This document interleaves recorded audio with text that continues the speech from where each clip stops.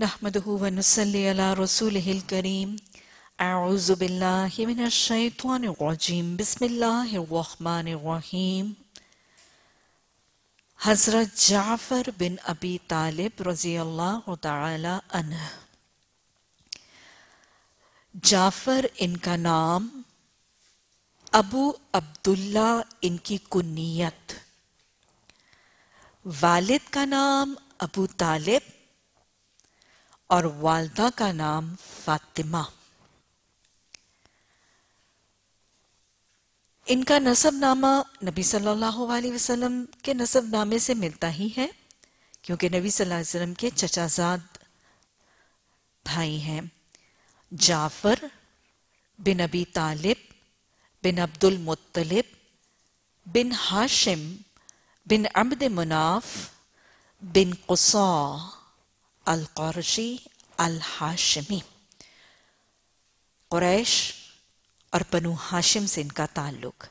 بنو عبد مناف میں ہمیں پتا چلتا ہے کہ پانچ لوگ ایسے تھے کہ جن کی شکل و صورت اور جن کی شبی نبی صلی اللہ علیہ وسلم سے ملتی تھی۔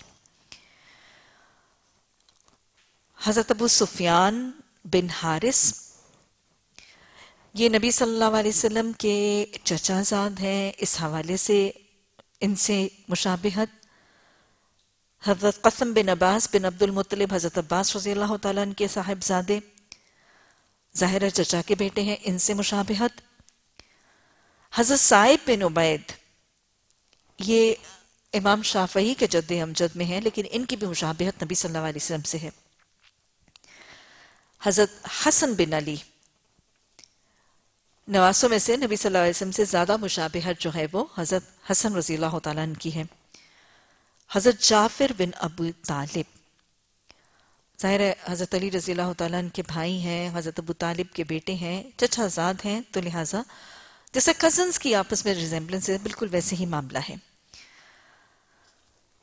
نبی صلی اللہ علیہ وسلم کی نبوت سے پہلے کا واقعہ ہے کہ مکہ کے دور میں بہت زیادہ قحط سالی ہوئی۔ اور بہت زیادہ فقر و فاقہ۔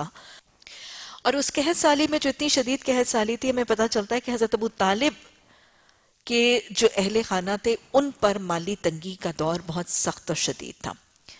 نبی صلی اللہ علیہ وسلم کی صلح رحمی کا اور قرابت داری کا انداز اور طریقہ دیکھیں کہ جب حضرت ابو طالب حضرت ابو طالب جو چچا ہے نبی صلی اللہ علیہ وسلم کے، ان کے گھر میں بہت زیادہ مالی تنگی کا معاملہ ہوا۔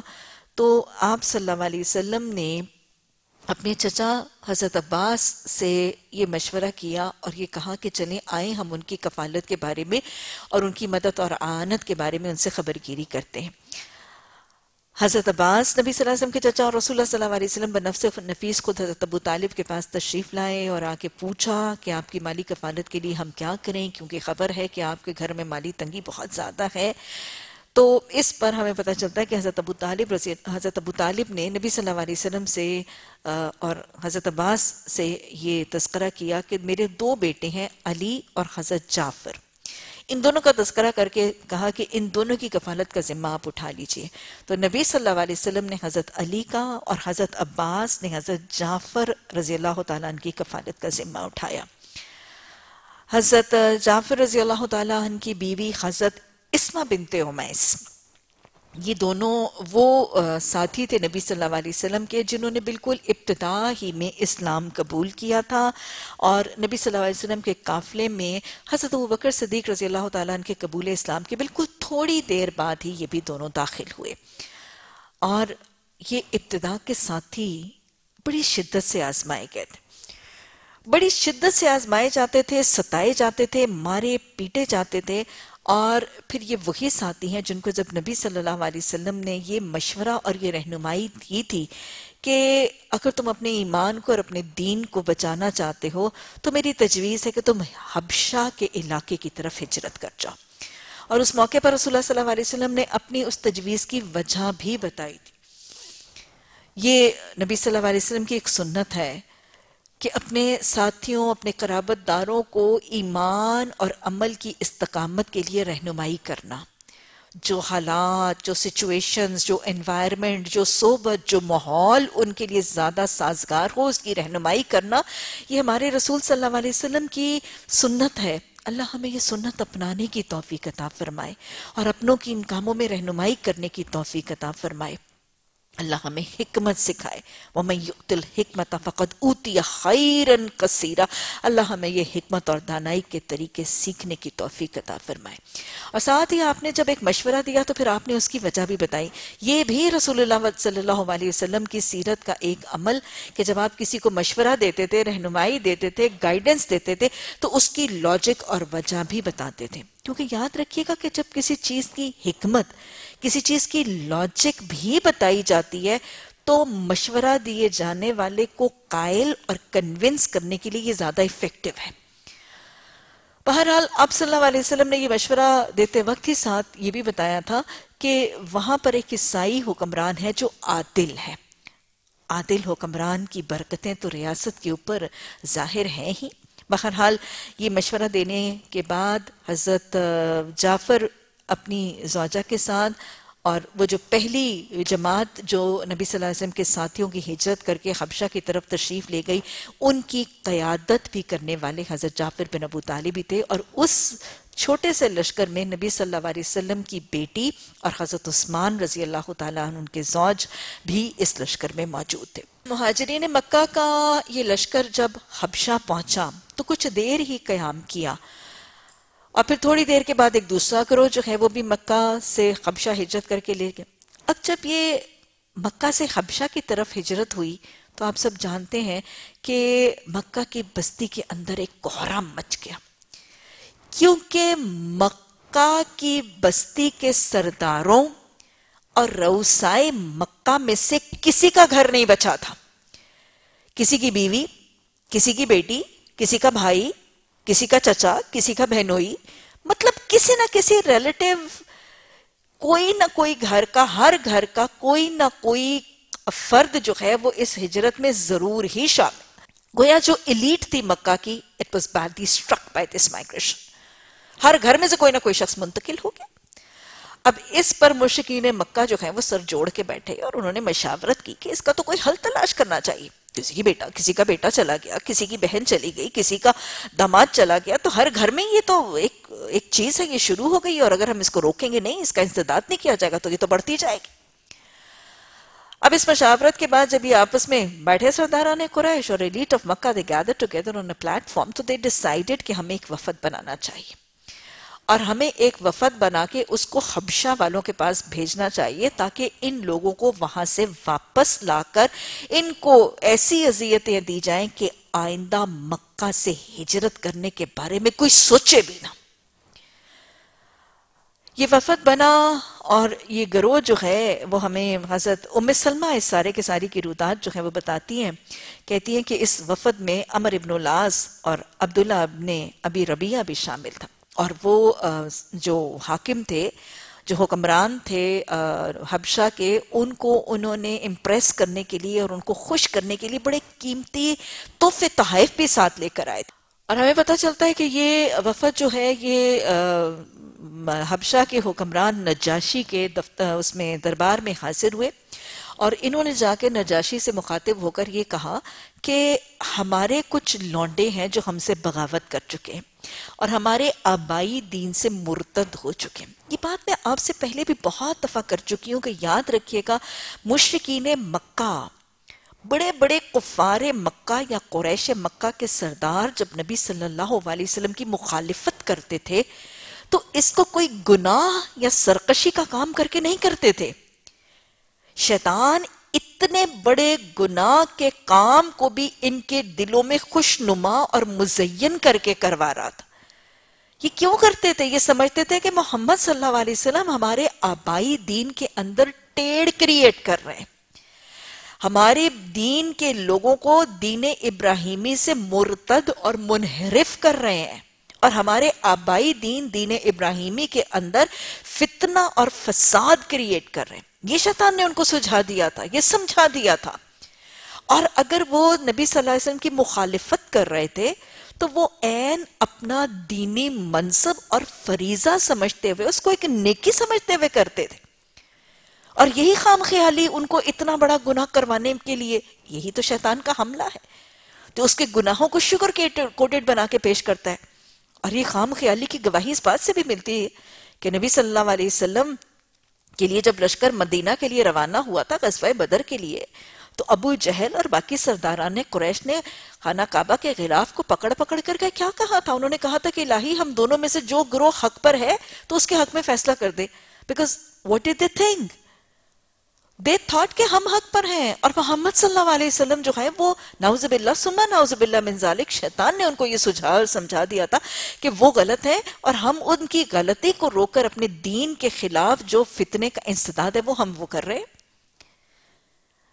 بہرحال انہوں نے بہت ایک جا کے افیکٹو سا طریقہ اور حبشہ کے سردار کو، حبشہ کے حاکم نجاشی کو اس بات پر قائل کرنے کی کوشش کی کہ ہمارے دین سے باغی کچھ لونڈے اور کچھ لڑکے جو ہیں وہ ہمارے دین سے آبائی دین سے مرتد ہو گئے ہیں، فتنہ فساد کر لیں اور ہمارے ہاتھوں سے بچ کے وہ تمہارے علاقے میں آ گئے۔ یہ امپریشن ایک تو وہ دل سے بھی مانتے تھے اور دوسرا they wanted to create an impression on Najashi کہ یہ دین میں فتنے فساد کریٹ کرنے والے جب تمہارے معاشرے میں آئے ہیں تو تمہارے دین کو بھی خراب کریں گے۔ تو ان کو تم ہمارے حوالے کر دو، یہ ہمارے باغی ہیں۔ نجاشی کو جب باہر سے آنے والے مشرقین کے وفد نے یہ بات بتائی عدل کا تقاضا کیا ہے؟ دو فریقین میں جھگڑے کا فیصلہ کرنے یا اپنی رائے قائم کرنے سے پہلے ون سائیڈڈ سٹوری سننے کے بعد فیصلہ کرنا یہ عدل کا طریقہ نہیں ہے۔ یہ اپنی زندگی کے ہر شعبے میں یاد رکھیے گا۔ جب ہم مائیں بن جائیں جب ہم مائیں بن جائیں اور بیٹی آ کے اپنے سسرال کے نقص نکالتی، اپنے شوہر کے نقص اور عیب بیان کرتی، تو that is one side of the story جب بیٹا آ کے اپنے سسرال یا اپنی بیوی کے نقص اور عیب بیان کرتا that is a single side of the story اس کی ایک سائیڈڈ اسٹوری سن کر رائے قائم کر لینا۔ مشورہ دے دینا، رہنمائی کر لینا اور اپنے دل میں اوپینین بنا کے اپنے رویے کو ان کے ساتھ خراب کر لینا، یہ عدل کا طریقہ اور اعتدال کا طریقہ نہیں ہے۔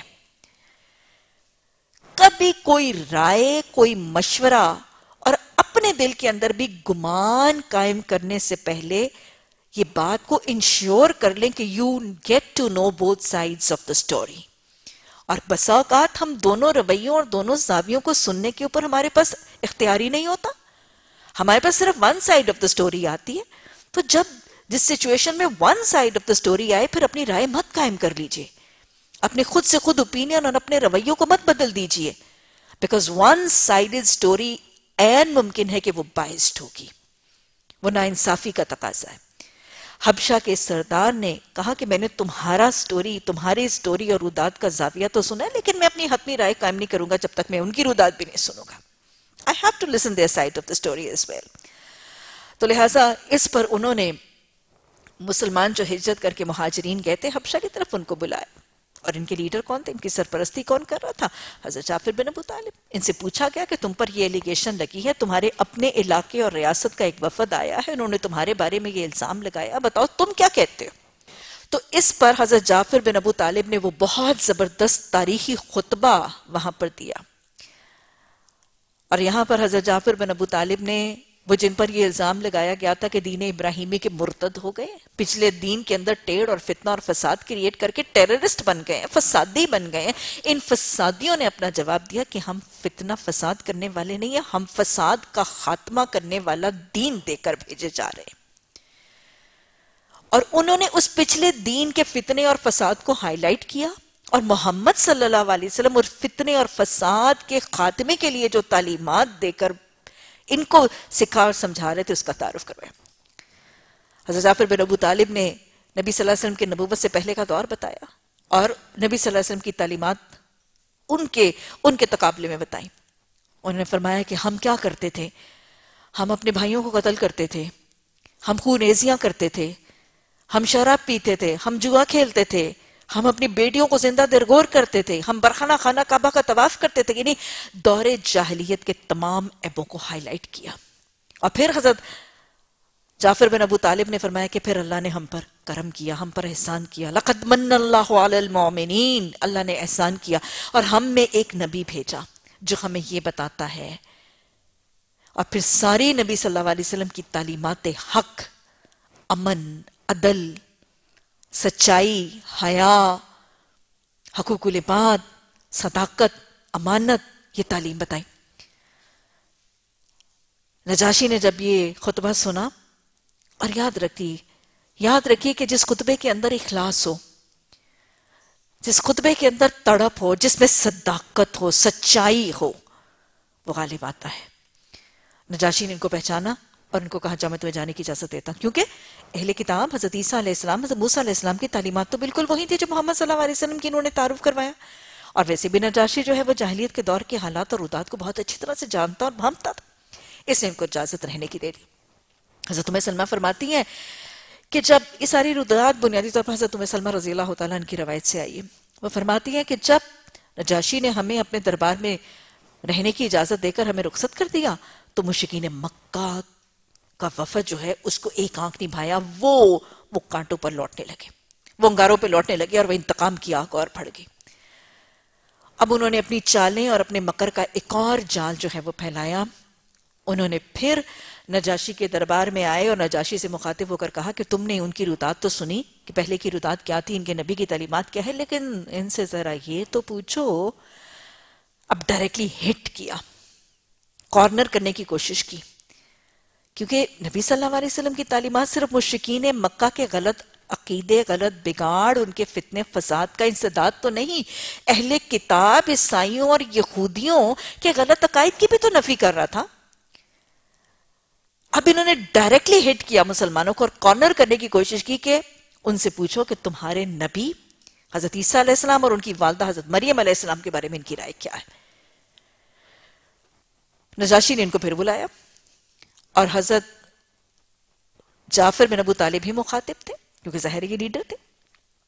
اچھی اچھی قیادت کتنی اہم ہے۔ ایک اسلامی گروہ کے لیے، ایک اسلامی لشکر کی حفاظت کے لیے ایک اچھی حق حق پر جمنے والی مخلصانہ اور صاحب علم قیادت کتنی اہم ہے۔ حضرت جعفر بن ابو طالب سے جب پوچھا گیا کہ بتائیں، آپ کا ہمارے، آپ کے نبی محمد صلی اللہ علیہ وسلم اور آپ نے دین اور آپ کی الہامی کتاب کی تعلیمات جو ہیں وہ ہمارے نبی حضرت عیسیٰ علیہ السلام اور حضرت مریم کے بارے میں کیا کہتی ہیں؟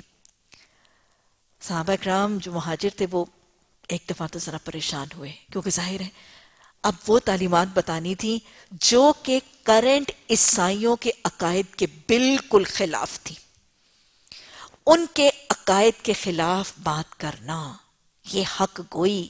امکان کیا تھا؟ کہ حبشہ کے دروازے ان کی ہجرت پر بند ہو جائیں گے۔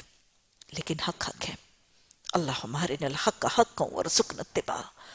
اللہ ہمارے نل باطل باطل ورزقنا اجتنابا انہوں نے پہلے آپس میں مشاورت کی اور پھر حق پر جم گئے کہ ہم حق کو حق ہی کی شکل میں بتائیں گے۔ اور حضرت جعفر رضی اللہ تعالیٰ نے سورہ مریم کی آیات جس میں محمد صلی اللہ علیہ وسلم نے جو حضرت عیسیٰ علیہ السلام اور حضرت مریم علیہ السلام، ان کی ولادت، ان کے سارے کے سارے تصورات، جو کہ کرنٹ اس دور کے عیسائیوں کے بالکل عقائد کے خلاف تھے، ان کے حوالے سے وہ آیات پڑھی۔ حق تھا۔ نجاشی حق شناس تھا۔ حضرت عیسیٰ اور حضرت مریم کے حوالے سے جو آیات سورہ مریم کی پڑھی گئی، ان کو سنتا رہا۔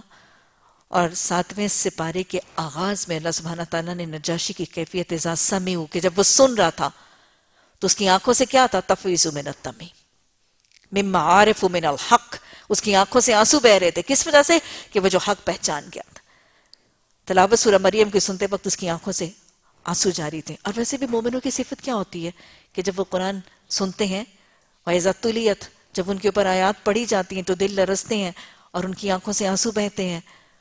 وہ روتے ہیں۔ اور سجدے میں گر جاتے ہیں تو یہ ایمان کی علامت تھی نجاشی کی۔ سورہ مریم کی آیات کی تلاوت پر رونا اس کی ایمان کی علامت تھی۔ اور ایمان کی تصدیق کیسے ہوئی کہ جب حضرت جعفر رضی اللہ تعالیٰ نے تلامت کا سلسلہ مکمل کیا، وہ پورے کا پورا تصور جو محمد صلی اللہ علیہ وسلم نے اس ماں اور بیٹے کے بارے میں بتایا تھا حقانیت سے اس کو بیان کیا، تو نجاشی نے ایک تنکا اٹھایا تھا۔ اور کیا کہا تھا؟ بخاری میں حدیث بڑی وضاحت سے آتی ہیں کہ نجاشی نے ایک تنکا اٹھا کر کہا تھا کہ خدا کی قسم عیسیٰ ابن مریم، نہ اس سے کچھ زیادہ تھے، نہ اس سے کچھ کم۔ اور پھر اس سے اس کے جو دربار کے علماء تھے، اس کے جو راہب ان کے پادنی تھے، اس کے ایک اندر خلچل اور ایک بغاوت اور ایک شور اور ایک شورش۔ لیکن اس کے بعد مسلمانوں کو وہاں پر رہنے کی اجازت دے دی گئی تھی۔ تو یہ وہ جس میں حضرت جعفر بن ابو طالب نے باقاعدہ اپنی فصاحت، اپنی بلاغت، اپنے علم، اپنی صداقت، اپنی جرت کا امتیاز جو ہے اس کو منوائے اور مسلمانوں کے لیے حبشہ کو پر امن جگہ بنانے میں کامیاب ہوئے۔ اللہ ہمیں ایسی قیادت عطا فرما دے۔ حضرت جعفر بن ابی طالب اپنی زوجہ کے ساتھ حبشہ میں بڑی عزت اور اطمینان کے ساتھ اکثر روایات میں پتہ چلتا ہے، دس سال وہاں پہ قیام وزیر رہے۔ اور دس سالوں کے بعد پھر سات ہجری میں ان دونوں نے بھی اور ان کے ساتھ اور بہت سے ساتھی جو ابھی تک ہجرت کر کے مدینہ نہیں آئے تھے۔ کچھ تو وہاں سے ہجرت کر کے مدینہ حضرت جعفر سے پہلے تشریف لا چکے تھے۔ لیکن اکثر تاریخ کی کتابوں سے پتہ چلتا ہے کہ حضرت جعفر اور ان کی زوجہ اور ان کے ساتھ کچھ ساتھیوں نے سات ہجری میں مدینہ میں ہجرت کی۔ اور حضرت جعفر رضی اللہ تعالیٰ عنہ جب ہجرت کر کے حبشہ سے مدینہ تشریف لائے تھے، تو اس وقت غزوہ خیبر اور مسلمانوں کو فتح۔ بہت بڑی فتح تھی مسلمانوں کی۔ اور اس موقع پر ہمیں پتہ چلتا ہے کہ ربی صلی اللہ علیہ وسلم، حضرت جعفر رضی اللہ تعالیٰ عنہ کے آنے پر اتنے خوش ہوئے تھے کہ آپ نے فرمایا کہ آج معلوم نہیں میں دونوں میں سے کس چیز سے زیادہ خوشی پا رہا ہوں، فتح خیبر کی یا جعفر کے آنے کی۔ یا آپ کی صلح رحمی بھی ہے۔ آپ کی اپنے چچا زاد بھائی سے محبت بھی ہے اور آپ کی اپنے ددیال کے رشتے اور بھائیوں کے ساتھ وہ حق شناسی بھی ہے۔ حضرت ابو حریرہ رضی اللہ تعالیٰ حضرت جعفر کے کشادہ دستی اور اللہ کے راہ میں مال خرچ کرنے کے حوالے سے فرماتے ہیں نا کہ وہ سب سے زیادہ فیاض تھے اور بہت زیادہ خرچ کرتے تھے اور کہتے ہیں کہ آپ کو پتہ ہے کہ حضرت ابو حریرہ رضی اللہ تعالیٰ عنہ تو صحابہ صفحہ میں سے تھے نا؟ کام، کاروبار، دھندا، سب کچھ چھوڑ دیا ہوا تھا دین کا علم حاصل کرنے کے لیے۔ اور یہ بتاتے ہیں کہ ہم ایسے اصحاب صفحہ والے تو بسا اوقات ایسے ہوتے تھے کھانا نہیں کھایا ہوتا تو بھوک سے ہم نے ڈھال ہو جاتے تھے۔ تو حضرت ابو حریرہ رضی اللہ تعالیٰ عنہ فرماتے ہیں کہ ہمیں حضرت حضرت جعفر اپنے گھر لے جاتے تھے۔ اور جو گھی کا، پنیر کا جو مشک، جو چیز ہوتی تھی، اس کو کھول دیتے تھے۔ یعنی جتنا ہم نے کھانا ہوتا تھا ہم کھا لیتے تھے۔ اور جتنا ہم نے لینا ہوتا تھا ہم لے لیتے تھے اور روکتے بھی نہیں تھے اور کھلا دیتے تھے۔ اور ہمیں یہاں پہ یہ بھی پتا چلتا ہے کہ صحابہ اکرام میں سے کچھ ان کو ابو المسکین کہہ کر سوال کیا کرتے تھے۔ ابو المساکین کہ مسینوں مسکینوں کے ام, المسا ام المومنین حضرت زینب رضی اللہ تعالیٰ ان کو ام المساکین کا لقب ملتا ہے۔ اور حضرت جعفر بن ابو طالب کو صحابہ اکرام کے حوالے سے ابو المساکین کا لقب ان کی فراخ دستی اور اللہ کی راہ میں فقیروں مسکینوں اور حاجت مندوں کو کھلانے کی وجہ سے ملتا ہے۔ اور اگر آپ دیکھیں تو بہت بڑا واقعہ جو حیات طیبہ میں حضرت جعفر رضی اللہ تعالیٰ ان کی شہادت اور ان کی بہادری اور جرت کے حوالے سے آتا ہے، وہ جنگ موتا۔ فتح مکہ کے بعد جب مسلمانوں کا وہ روم کے لشکر کے ساتھ مقابلہ، تو نبی صلی اللہ علیہ وسلم نو ہجری میں تو تبوک کے لشکر میں خود غزوہ تبوک کے موقع پر خود تشریف لے گئے، لیکن اس سے پہلے، ایک سال پہلے، اس سے ایک سال پہلے ہمیں پتا چلتا ہے کہ جنگ موتا کے لیے نبی صلی اللہ علیہ وسلم نے مسلمانوں کا ایک لشکر بھیجا تھا۔ اور اس لشکر کی قیادت نبی صلی اللہ علیہ وسلم نے حب رسول صلی اللہ علیہ وسلم اپنے منہ بولے بیٹے حضرت زید بن خارسہ کو اس کی قیادت جو ہے وہ سونپی تھی اور ان کو سپا سالار اعظم بنایا تھا۔ لیکن ڈسینڈنگ آرڈر جو ہے وہ بتا کے آپ صلی اللہ علیہ وسلم نے اس لشکر کو روانہ فرمایا تھا اور ڈسینڈنگ آرڈر آف کمانڈ یہ تھا کہ اگر حضرت زید بن حادثہ شہید ہو جائیں گے تو پھر قیادت جو ہے وہ کس کے پاس؟ حضرت جعفر بن ابو طالب کے پاس۔ اور اگر حضرت جعفر بن ابو طالب شہید کر دیے گئے تو پھر قیادت اور سپہ سالاری کی ذمہ داری حضرت عبداللہ بن رواحہ جو ہے وہ سر انجام دیں گے۔ اور نبی صلی اللہ علیہ وسلم نے اس کی رودات بھی سنائی اور وہ ساری کی ساری جنگ موتا کی کامیابی اور شہادتیں جیسے جیسے ہوئیں اس کی رودات بتائی۔ حضرت جعفر بن ابو طالب، حضرت زید بن حارثہ جب شہید ہوئے تو آٹومیٹکلی چونکہ وہ آرڈر آف کمانڈ جو ہے وہ نبی صلی اللہ علیہ وسلم کی طرف سے وضع کرتا تھا، حضرت زید بن حارث جب شہید ہوئے تو حضرت جعفر بن ابو طالب نے علم پکڑ لیا اور مسلمانوں کی قیادت جو ہے اس کی ذمہ داری سونپ لی۔ اور پھر آپ صلی اللہ علیہ وسلم نے اس بات کی خبر دی کہ حضرت زید بن حارثہ کا دایاں ہاتھ کاٹ دیا گیا اور انہوں نے بائیں ہاتھ نے مسلمانوں کا علم جو ہے وہ تھامے رکھا اور قیادت کے فرائض ایک ہاتھ کاٹنے کے، کٹنے کے باوجود قیادت کے فرائض سر انجام دیتے رہے۔ یہ ہے اپنے جسم پر، اپنے جسم کے اعضاء پر۔ محمد صلی اللہ علیہ وسلم کی اطاعت، اللہ کے رسول صلی اللہ علیہ وسلم کی تعلیمات آپ صلی اللہ علیہ وسلم کا دین، اسلام، ان تمام چیزوں کو، اسلامی لشکر، اسلامی ریاست، ان تمام چیزوں کی حفاظت اور ان تمام چیزوں کی ترجیح کو اپنے جسم کے آزاد سے زیادہ ترجیح سمجھنا۔ یہ ہے صحابہ اکرام کا طریقہ۔ جسم کا ایک ہاتھ ایک اس کٹ گیا، کاٹا گیا، لیکن اس کے باوجود نبی صلی اللہ علیہ وسلم نے حکم دیا تھا کہ جب تک جان میں جان ہے، میری اس لشکر کی حفاظت کرنی ہے، اس کی سپا سالاری کا کام دینا ہے کیا ہے استقامت، کیا زبردست اطاعت، کیا خوبصورت ترجیح۔ اللہ ایسی استقامت عطا فرم ایسی ہوتی ہے محبت، ایسی چاہیے استقامت، ایسی اللہ کو پسند ہے اطاعت، اور ایسا ہے زبردست صبر۔ اللہ ہمیں یہ زیورات سمجھنے اور اپنانے کی توفیق عطا فرمائے۔ علم حضرت جعفر بن ابو طالب نے بائیں ہاتھ میں پکڑ لیا، بائیں ہاتھ کاٹ دیا گیا۔ دشمنوں کا بغض تو مسلمانوں کے جھنڈے کے ساتھ تب سے چل رہا ہے۔ اسلام کے جھنڈے کی سر بلندی تو ان سے برداشت ہی نہیں ہوتی۔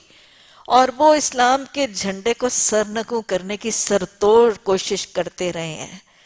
لیکن ایسے سرفروش اسلام کے جھنڈوں کی سر بلندی کے لیے جمے رہے اللہ ہمیں اس میں جمنے کی توفیق عطا فرمائے۔ دوسرا ہاتھ بھی جب کٹ گیا تو دونوں بازوں کے سٹمپس کے ساتھ اس علم کو سینے کے ساتھ لگایا۔ اللہ ہمیں آلائے کلمات اللہ کے لیے ایسا کردار، ایسی استقامت، ایسا صبر، ایسی جرت ایسی شجاعت اور ایسی اطاعت کا طریقہ سکھا اور سمجھا دے۔ اللہ ہم صرف قصے اور واقع سننے والے اور جھومنے والے یا حد سے حد رونے والے نہیں، اللہ عملی نمونے اپنانے والے بن جائیں۔ حضرت زید بن حارث حضرت جعفر بن ابو طالب، جن کی یہ جرت یہ استقامت اور یہ اطاعت کا حال پھر ان کو شہید کر دیا گیا۔ پھر اس کے بعد ان کو جب شہید کر دیا گیا تو علم سینے سے لگا ہے شہید ہیں اور پھر علم حضرت عبداللہ بن روا کیسی اٹومیٹک ایک اطاعت چلتی چلی۔ وہ میدان جنگ میں جو آپ نے مدینہ سے بجا کے بھیجا تھا، وہ order of command automatically carry on ہو رہا ہے۔ کوئی سپروائزر نہیں ہے۔ کون سپروائزر ہے؟ اللہ۔ یہ ہے تقوی۔ محمد صلی اللہ علیہ وسلم نے تو مدینہ میں حکم دیا تھا نا۔ وہ یہاں پہ بنفس نفیس تو موجود نہیں ہے دیکھنے کے لیے کہ میدان جنگ میں کہ میرے آرڈرز کنڈکٹ ہو رہے ہیں کہ نہیں، لیکن اللہ تو دیکھ رہا ہے۔ یہ ہے وہ تقوی۔ یہ ہے ان اللہ کان علیکم رقیبہ جب ایک سپہ سالار کو اس طرح میدان جنگ میں ایک ہاتھ دوسرا ہاتھ کٹ کٹ کے گرتے ہوئے دیکھا، تو اس کے بعد اتنا عزم ہے، اتنی ہمت ہے، اتنا جرت ہے۔ اس علم کو تھامپنے والے کا یہ حال اگلے دو شہید کر کے میدان جنگ میں موجود ہے۔ اب تیسرا پکڑ لیتا ہے نا۔ آج ہمارے سامنے کسی دین کی اطاعت کرنے والے کا مذاق اڑایا جاتا ہے۔ کسی پردہ کرنے والی کا رشتہ نہیں ہوتا ہے؟ کسی دین کے رستے پر چلنے والے سوچ چھوڑنے والے کو کاروبار میں نقصان ہو جاتا ہے؟ تو اٹھا کے دین کی اطاعت کو چھوڑ دیتے ہیں۔ دین کا لبادہ اتار کے پھینک دیتے ہیں۔ ارے بڑے دیکھیں، دیندار ان کا حال دیکھیں، ان کا انجام دیکھیں۔ مت پرانا اپنی بیٹی کے ساتھ وہ معاملات۔ نہیں۔ دین کی اطاعت اور دین کی فرما برداری کرنے والوں کو برے حال میں دیکھیں تو ڈر نہیں جانا ہے لرس نہیں جانا ہے، بتک نہیں جانا ہے۔ جم جانا ہے اطاعت پر، اللہ ہمیں استقامت عطا فرما۔ حضرت عبداللہ بن رواحہ نے وہ علم پکڑ لیا، ان کو بھی شہید کر دیا گیا۔ پھر باہمی مشاورت ہوئی، تجاویز ہوئی، حضرت خالد بن ولید نے قیادت پکڑی اور پھر پھر سیف اللہ کے ہاتھ سے مسلمانوں کو فتح ہوئی اور ہوتی ہی چلی گئی پھر پیدر پہ۔ نبی صلی اللہ علیہ وسلم نے حضرت جعفر بن ابو طالب رضی اللہ تعالیٰ کے حوالے سے فرمایا تھا کہ میں نے جعفر کو جنت میں یوں دیکھا کہ اس کے دونوں بازو اور پاؤں خون میں لت پت ہے اور پھر کچھ روایات میں یہ بھی آتا ہے کہ آپ صلی اللہ علیہ وسلم نے فرمایا کہ جعفر کو اللہ نے ان کٹے ہوئے دو بازوؤں کی جگہ دو پر دے دیے تھے۔ آپ کو پتا کہ شہید کیسے ہیں؟ ہاں تم ان کو کیا نہ سمجھو، تم ان کو مردہ نہ کہو۔ بل احیاؤن ولا کلا تشعرون۔ وہ تو زندہ ہیں۔ ولا تقولوا لمن يقتل في سبيل الله امواتا بل احياء ولكن لا تشعرون۔ کیسے زندہ ہیں؟ حدیث میں آتا ہے کہ وہ سب پرندوں کی شکل میں جنت میں اڑتے پھرتے ہیں۔ اللہ سبحانہ تعالیٰ نے نبی صلی اللہ علیہ وسلم کو خبر دے دی، حضرت جعفر کو دو پر دے دیے گئے، وہ سب پرندوں کی شکل میں۔ اسی لیے ان کو کیا لقب دیا گیا؟ جعفر ذل دو پروں والا، دو بازو دیے جانے والا۔ جنت میں دو بازو، جنت میں دو پر اور جعفر تیار۔ تیر کہتے ہیں پرندے کو۔ تیار، پرندوں کی طرح اڑ کے جنت میں جانے والا، پرندوں کی طرح، شہیدوں کی طرح جنت کے میوے پانے والا۔ نبی صلی اللہ علیہ وسلم کو جب یہ خبر ملی تو پھر تعزیت کے لیے گھر والوں کے پاس تشریف لے گئے۔ حضرت اسما بنت اویس کو بھی خبر نہیں تھی۔ نبی صلی اللہ علیہ وسلم گھر تشریف لے گئے۔ ہمیں پتہ چلتا ہے کہ کیسی جرت والی اور کیسی صابرہ تھی یہ خواتین۔ شوہر کو میدان جنگ میں بھیج کر پیچھے سے جب نبی صلی اللہ علیہ وسلم تشریف لے جاتے ہیں تو اپنے بچوں کو نہلا، دھلا کے، صاف کر کے۔ کتنا صبر ہے، کتنا تحمل ہے ایسی ہی بیویاں جو اپنے شوہروں کے پیچھے اپنے جان، مال، عزت، آبرو، ان کے گھر، ان کی اولادوں کی حفاظت کرتی ہیں۔ اور شوہروں کو دین کی اشاعت اور دین کی حفاظت کے لیے بھیج کر دے carry on their normal activities of life as if nothing is happened کتنے بڑے کتنے بڑے مار کے پر شوہر کو بھیج کر کول ہے کام ہے کمپوزڈ ہے صبر میں ہے life is moving on the way it was بچوں کو نہلا دھلا کے صاف کر کے ابھی فارغ ہوئی ہیں کہ نبی صلی اللہ علیہ وسلم تشریف لے گئے. آپ صلی اللہ علیہ وسلم نے فرمایا، جعفر کے دونوں بیٹوں کو میرے پاس لاؤ. وہ دونوں بیٹے جب نبی صلی اللہ علیہ وسلم کی گود میں آئے تو آپ صلی اللہ علیہ وسلم نے فرمایا، آپ رو رہے ہیں۔ بیوی نے پوچھا، یا رسول اللہ صلی اللہ علیہ وسلم، میرے ماں باپ آپ پر قربان، آپ کیوں رو رہے ہیں؟ آپ صلی اللہ علیہ وسلم نے فرمایا، کیا ان دونوں بچوں کو، کیا ان دونوں بچوں کو ان کے والد کی شہادت کی خبر مل چکی ہے؟ آپ نے نیوز بریک کی۔ حضرت جعفر رضی اللہ تعالیٰ ان کی زوجہ رونے لگی۔ بے ہوش ہو گئی غم سے۔ آپ صلی اللہ علیہ وسلم نے دعا کی۔ آپ نے فرمایا، الہی جعفر کی اولاد کی مدد کر۔ الہی جعفر کے گھر کی نگے بانی فرما۔ شہداء کے بچوں کی اور شہداء کے گھر والوں کی کفالت کرنا، مدد کرنا مسلمانوں کی جماعت کے لیے فریضہ عین ہے۔ آپ نے ان کے لیے دعا کی۔ آپ صلی اللہ علیہ وسلم نے حضرت جعفر رضی اللہ تعالیٰ عنہ کے حوالے سے فرمایا، تم سیرت اور صورت دونوں میں مجھ سے مشابہ ہو۔ تم سیرت اور صورت دونوں میں مجھ سے مشابہ ہو۔ کتنا بڑا درجہ۔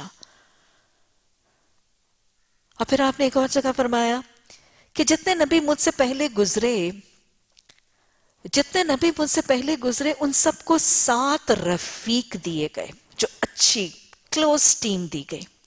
ان کو سات رفیق دیے گئے۔ مجھے چودہ سے نوازا گیا ہے۔ کیونکہ آپ صلی اللہ علیہ وسلم کا کام بہت بڑا تھا۔ آپ کی مہم بہت بڑی تھی۔ مجھے چودہ سے نوازا گیا اور جعفر انہی میں سے ہے۔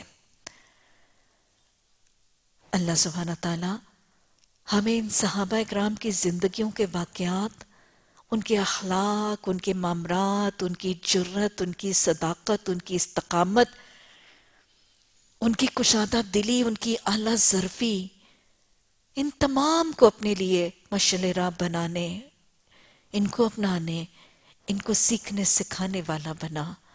ربنا لا تزغ قلوبنا بعد إذ هديتنا وهب لنا من لدنك الرحمة إنك أنت الوهاب۔ آمين ثم آمين